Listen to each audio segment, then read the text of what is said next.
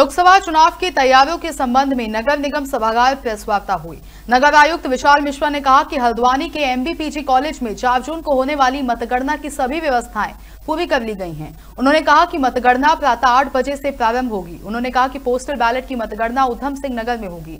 साथ ही सभी अपडेट समन्वय कर उपलब्ध करा दिए जाएँगे। नगर आयुक्त विशाल मिश्रा ने बताया कि एमबीपीजी कॉलेज हल्द्वानी में चार जून को होने वाली मतगणना के लिए जनपद की छह विधानसभाओं में कुल चौरासी टेबल लगाई जाएँगी। प्रत्येक विधानसभा में चौदह टेबल लगाई जाएँगी और चार जून मतगणना के लिए तीन कार्मिकों की तैनाती कर दी गई है, जिसमें एक मतगणना माइक्रो ऑब्जर्वर, एक सौ चौदह मतगणना सुपरवाइजर और 120 मतगणना सहायक की नियुक्ति दी है। मतगणना में सभी कार्मिकों को ड्यूटी आदेश दे दिए गए हैं और सभी कार्मिकों को 30 मई और 2 जून को प्रशिक्षण भी दिया जाएगा। हल्द्वानी से दीपक अधिकारी की रिपोर्ट।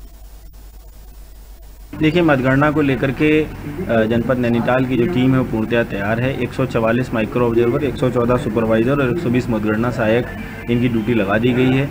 इनके ड्यूटी ऑर्डर भी वितरित किए जा रहे हैं। इनका प्रशिक्षण 30 मई और 2 जून को किया जाएगा।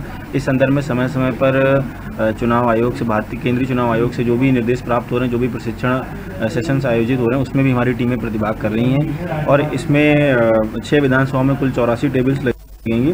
अर्थात प्रत्येक विधानसभा में चौदह टेबल लगेंगी। तो ये आ, हमारी तैयारियाँ पूरी हैं प्रशिक्षण की भी शेड्यूलिंग है सारा कुछ तैयार है। समय समय पर हमारा मीडिया सेंटर बन रहा है वहाँ पर। तो समय समय पर हर एक दो घंटे में पूरी पार्लियामेंट्री कॉन्स्टिट्यूंसी का जो डेटा है वो हमारे मीडिया के भाइयों के साथ शेयर किया जाएगा। और इसको कोलेट करने के लिए हमारी डीआईओ और वहाँ की डीआईओ जो भी नोडल अधिकारी हैं वो आपस में कोऑर्डिनेट करते रहेंगे।